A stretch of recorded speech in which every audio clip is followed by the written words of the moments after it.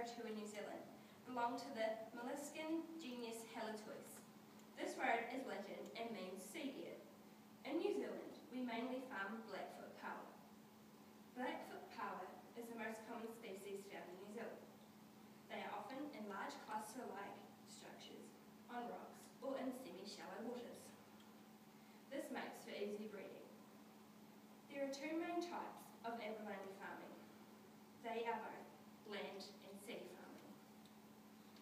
Land farming is when the fish is farmed in large tanks. They have water being continuously pumped through the tanks to keep the areas fresh and clean.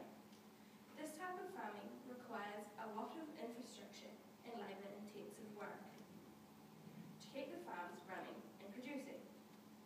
When selecting where to build a land-based farm, you need to consider the quality of water supply and also where you can access the best power supplies. Many land-based farms feed the abalone artificial foods.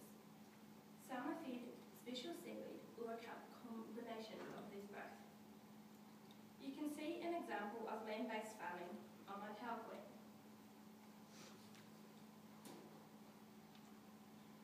Sea-based farming takes place in areas surrounded by seaweed and usually smooth rocky coastlines. They are close to the shore so they can be easily accessed by the workers in boats.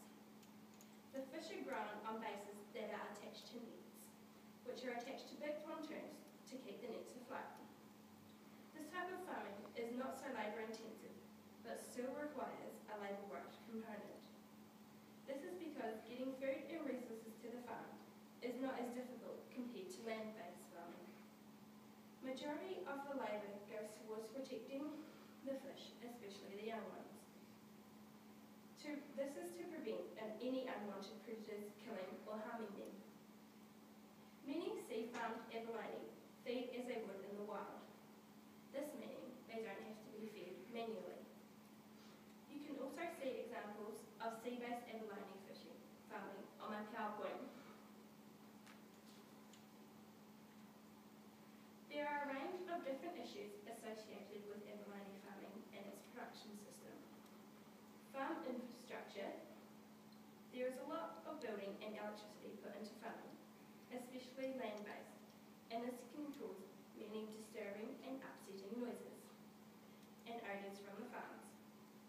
This is an issue as the houses or companies that uh, surround the area will be disturbed and could possibly complain. To keep huge amounts of water circulating through the breeding teams, there needs to be a very high use of electricity, making it expensive to run the farms, as well as other costs for labour, food and equipment.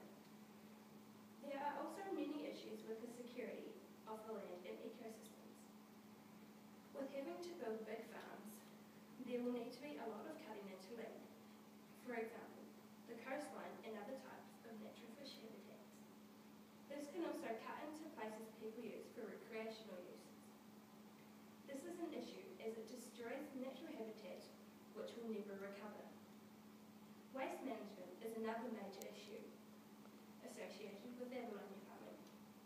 This mainly occurs when the products are being showered and processed ready for market or packaging.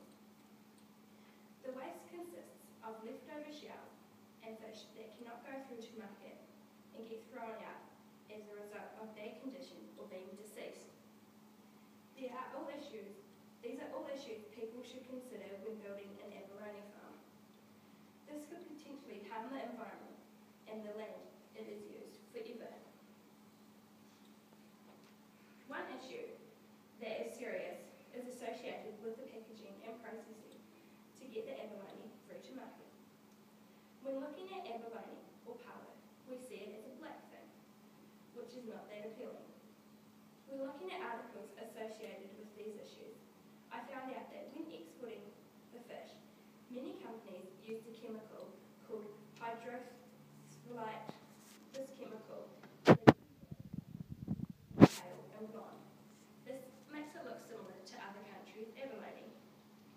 This produces a major risk for the consumer and also the company that has produced the product. It will dampen their reputation and put a strain on fish supply can see an example of Blackfoot paua and paua you would find in other countries.